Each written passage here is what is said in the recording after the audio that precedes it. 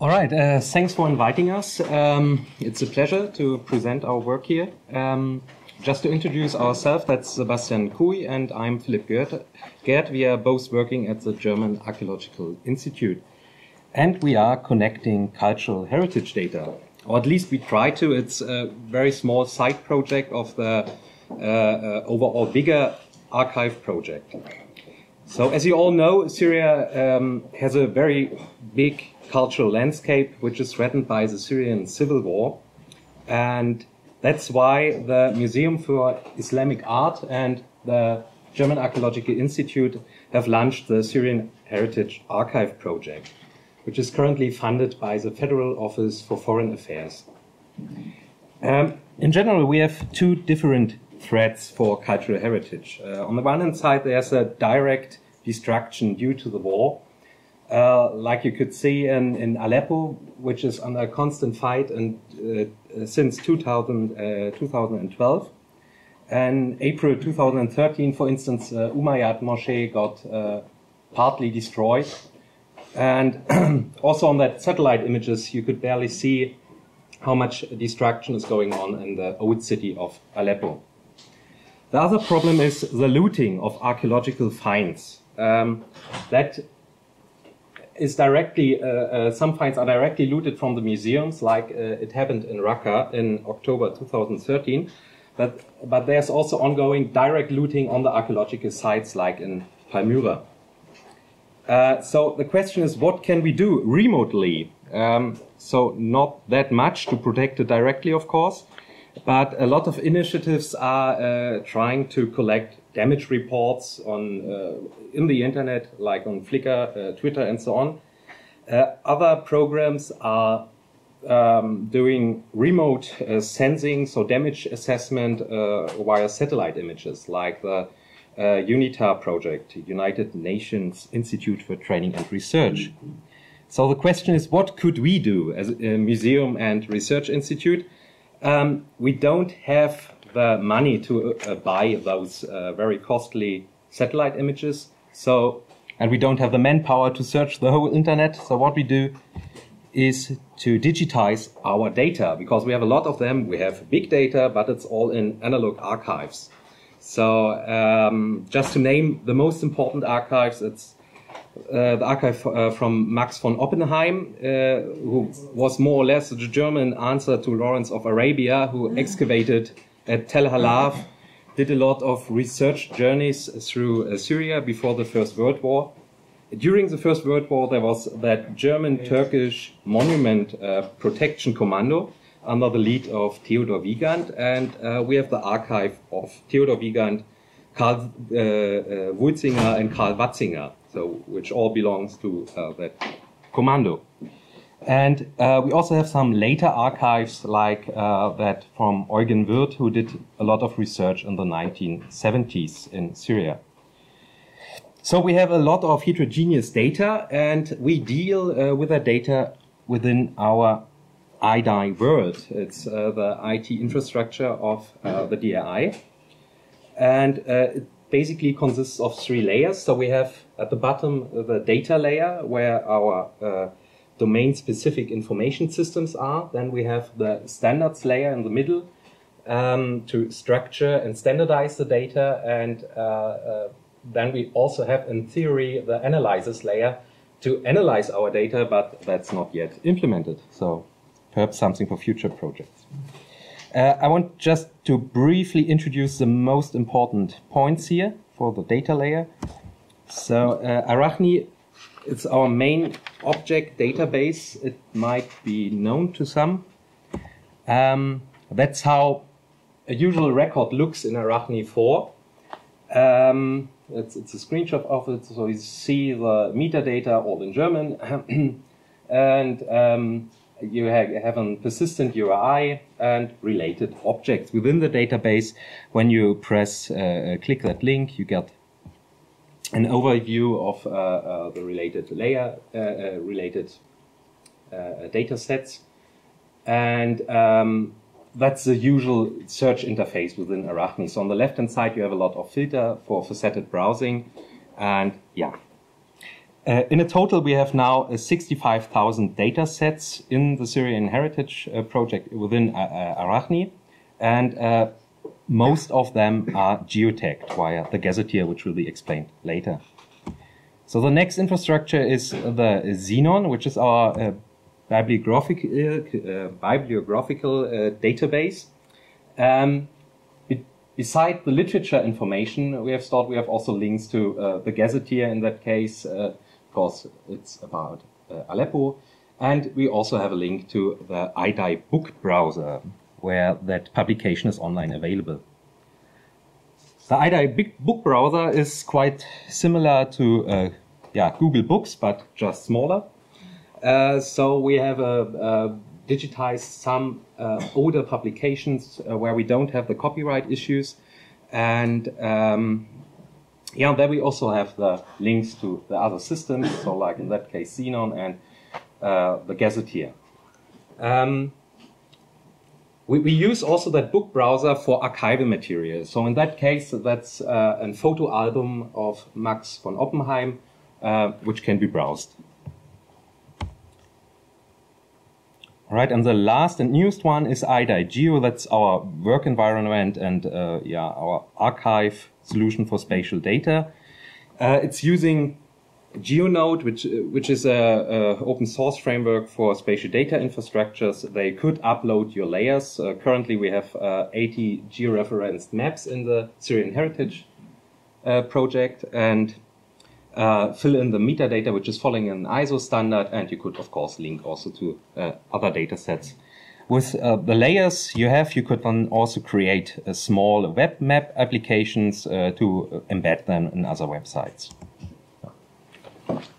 Okay, on to me. Um, what we see here is um, the so-called standards layer that Philip mentioned earlier. Um, I must say that the two applications on the top are right now uh, still in development. Um, the general purpose of the standards layer is to uh, have applications that serve as authoritative resources for all the um, applications in the IDAI world. Um, so uh, for the three topics of time, place, and general um, terminology. Um, most important for us right now is the gazetteer, um, and I'll zoom into it. Um, it's um, our central repository for place data. Um, places in general, also including buildings. Um, and the idea is to have a central repository that we can link to from all our applications. Um, and thereby get geo information for all the applications that use the gazetteer. Um, this is what the gazetteer applications looks like in the browser. Just a uh, short explanation. We have synonyms for place names, um, geolocation. We also have um, the possibility to store polygons. Um, yeah, all the usual stuff that you would um, want in a gazetteer, but most importantly, ah, stop. Um, I wanted to zoom down there, so it's probably not really readable, but um, the most important thing um, for our topic today is that we have identifiers of different other resources included in the gazetteer, and also we have links to other resources, like, for example, Pleiades and GeoNames and um, other systems in the DAI world, and we can um, actually include links to uh, um, every kind of um, resource that is referenceable by a URI. Um, another important thing to note is that we have um, a small button where you can export um, the data in machine readable formats like GeoJSON, KML, and RDF. Um, and just a short um, glimpse of what our RDF looks like right now. Um, as you can see, it's fairly simple um, because we're of the opportunity that um, simple metadata can uh, do a lot and can help a lot. Um, most importantly, it includes links to the other resources. Um, and uh, this allows us to use the Gazetteer as a kind of hub into the linked data world. Um, which basically looks like this. So all our uh, systems in the IDAI world are connected to the Gazetteer. Um, and as you can see, we have um, a lot of links to other resources on the linked data cloud. Um, very important, the uh, links to Pleiades, and thanks to the Pelagios project, we have a lot of links to other resources that we can gather through Pleiades. Also, GeoNames as a um, very important resource for general uh, place data, um, where we get a connection to DBpedia and um, through the stuff that's uh, in DBpedia, um, we have a lot of links to other resources, like, for example, what's interesting in the project that we're talking about, um, news about um, destruction in destruction of cultural heritage in Syria. So there is already a linked data cloud that's um, browsable and usable for researchers trying to um, discover new resources. Um, what we, uh, the challenge we had uh, to face, and uh, the video's already running, so pause it. Um, the idea in the Syrian Heritage Project was to um, give researchers an application where um, all the data that's gathered in the project, all the heterogeneous resources, can somehow be viewed together. Um, this is our first try of um, doing that. Um, and we started with a geo-based approach. Um, in this short video, we see the an overview of the sites that were gathered in the project and stored in the Gazetteer. And as you can see, you can filter um, according to the links that are present. Um, and also we can uh, view layers from uh, stored in the in our geo server or just on the web, which have also been gathered in the course of the project, um, like old maps of Syria. Um, you can also search for um, important sites in Syria and um, use what you see on the map as a starting point to jump into other systems to browse what's there on the web and what's linked. Um, here again we have uh, Arachne and um, as you can see there are a lot of images that are connected via the gazetteer to the places.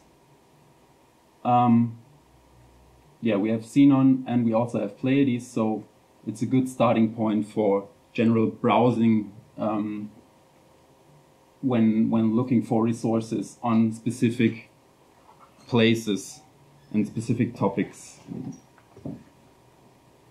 Yeah, and also here again we have um, um, through the Pelagios project these uh, links to other resources that are of archaeological interest. Okay, the next example is a video about Aleppo. Here we more or less have a kind of intra-site view of Aleppo. So uh, the markers belong to buildings we have stored in the uh, gazetteer. But as we also have uh, polygons available, we could activate those uh, polygons. They are uh, obtained through cadastral plans we have. But you can also see one problem because in the background you see OpenStreetMaps as a map. Uh, OpenStreetMaps here belong is, is mainly vectorizing uh, Google Satellite, and uh, we have here a small gap uh, of approximately 10 to 15 meters, uh, and yeah. Uh, that's a bit of a problem. The, the question is whether the satellite images are more correct or our cadastral plans. yeah, but we don't have any ground truthing points, so we can't uh, um, um, find the error yet. Um, But to go on, we could also then load other data from the GeoServer in it. So, for instance, uh, the map of the Gaube Wirth publication, uh, where in the 1970s Gaube and Wirth uh, um, mapped all uh, important uh, buildings within Aleppo and built up a very big uh, catalog of, about those buildings. And yeah, when you now click on, for instance, here the big mosque of Aleppo, you get the information which is stored in Arachne about that. However, here we have some kinds of duplicates, but uh, nevertheless a lot of old pictures from uh, uh, different time spans. Um, the last one are those red dots here, those this external data um, from the UNITAR project. So that, those are damage markers for buildings. but here again, we have that uh, gap between uh, the satellite images and our cadastral plans. Yeah. But, but nevertheless, just uh, without links, but just with uh, the uh, uh, spatial extent of the features, you can get also a lot of information together from different initiatives. Okay, and the last view of the small application that we developed um, is a little experiment where we uh, try to incorporate different resources that are available on the web. Um, here, just for example, we, of course, we uh, use images from Arachne. Um, we've already seen this. Um, and um, our little experiment included um, trying to get images from different open resources like Flickr and Instagram um, integrated into what we have in Arachne. The idea was to be able to compare different uh, states of places and um, buildings, cultural heritage objects in these places. And as you can see, you're always uh, you're also able to filter according to the date the photo was taken. The idea was to somehow give the researcher uh, an opportunity to compare that and to assess the damage. We also try to incorporate Instagram, but as you can see, the results aren't really that relevant. um, but um, yeah, I think this this uh, shows that um, geodata and uh, time data offer an, an, easy way of integrating um, integrating stuff that's open on the net on the web. Um, and to our conclusion, if there is any. Um, what we've learned by doing this little experiment and by developing the application. Um, as you saw, we had a lot of links through the Gazetteer, which is a very good thing. Um, but basically, you can only use them for browsing. There's no deep integration, like in the uh, in the sense of what what was uh, um, Tim Berners-Lee's vision of the semantic web. We have links, we can browse them. Um, you can do other uh, stuff with links, but so links are fine. Um, but um, what we discovered was that five star LOD, so linked RDF, isn't necessarily better um, LOD. We uh, found out that for us, having geodata and time data in open formats and open APIs is a really good starting point for integrating stuff. Um, because um, linked data tends to be in a lot of different formats, a lot of different standards. Um, it helps. It really helps a lot if you have geodata, time data, and open APIs. Um, yeah, and if you uh, if if uh, the data is linked and mapped according to standards, it's uh, even better. But yeah. Thank you. Geodata, time data, open API.